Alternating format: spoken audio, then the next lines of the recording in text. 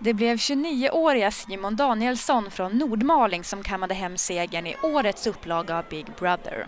Det var en helt, helt otrolig känsla. Det går inte nog att förklara.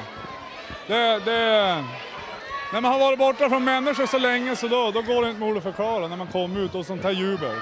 Underbara människor, det, går, ja, det finns inte. Jag är så lycklig så det finns inte på denna jord alltså. Hade du förväntat dig att du skulle vinna? Aldrig i livet. Jag hoppades på att jag kunde vara kvar några veckor och få uppleva något roligt i alla fall. Så, ja, nu är jag här.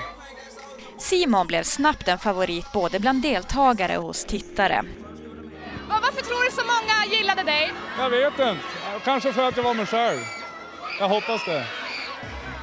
Längst tid i huset tillbringade Simon med Martin Granetoft som kom på en tredje plats och Peter Ormyr som föll på målsnöret. Hela hundra dagar har de varit avskärmade från omvärlden. Mycket har de upplevt men även saknat. Ja, det är familjen och närhet och vänner och allt sånt där. Och folk. Många var det som hittade mer eller mindre seriösa partners inne i huset. Men Simon hade inte den turen. Nej, men det, jag hittade ingen som jag tyckte passade in sådär. Jag, jag, känner, jag kör lite lågt istället. 500 000 kronor rikare har nu Simon blivit och det finns ingen tvekan om vad pengarna ska gå till. Köpa mig en båge, ska jag bjuda morsan och lilla syrran utomlands och så ska jag bjuda Martin till Thailand. Sen får jag se vad som blir med resten.